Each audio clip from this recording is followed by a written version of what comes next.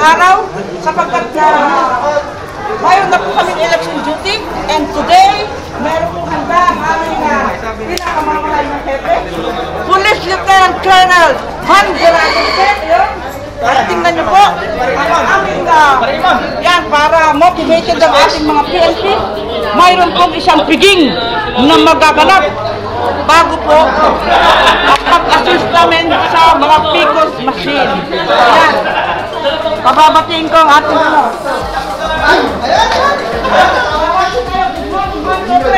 One!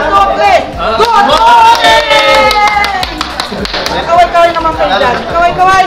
Ladies, ma'am. Ayun ang aming hepe. Sir, sir, kaway naman, sir. Ka na. Luma ako.